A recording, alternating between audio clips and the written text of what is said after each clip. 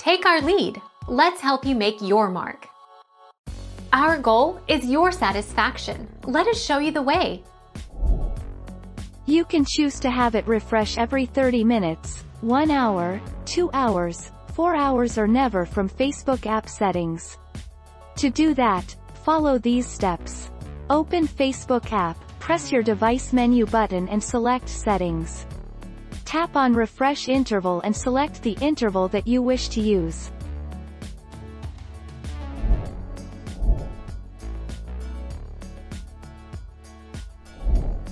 Take our lead. Go to Facebook's App Settings page. Then select Apps from the menu. On the Apps page, you'll see all the apps where you've logged into Facebook. On mobile, tap the menu bar bottom right for iOS, top right for Android, and select Settings Account Settings Apps Logged in with Facebook.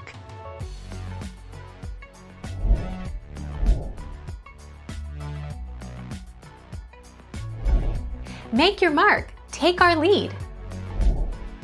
Facebook pages automatically refresh to display new, up-to-date content. The refresh is initiated by a meta refresh HTML tag embedded in the page source code, so you can't stop Facebook from attempting to refresh the page.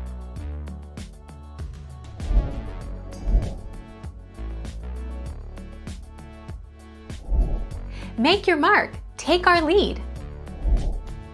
If you're seeing a problem with how Facebook appears in your web browser, you could have a cache or temporary data issue.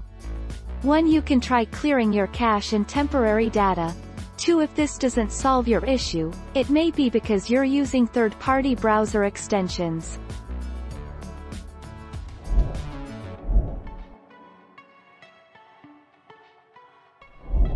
Take our lead. Let's help you make your mark.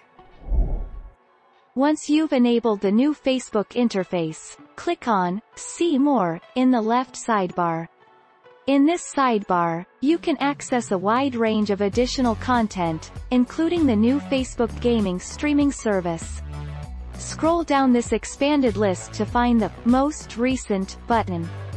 Click it and Facebook will refresh the page.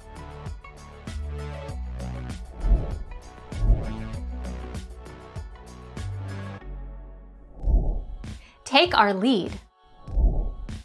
1. You can try clearing your cache and temporary data. You can do this from your web browser's settings or preferences. 2. If this doesn't solve your issue, it may be because you're using third-party browser extensions. We recommend disabling these add-ons before accessing the site again.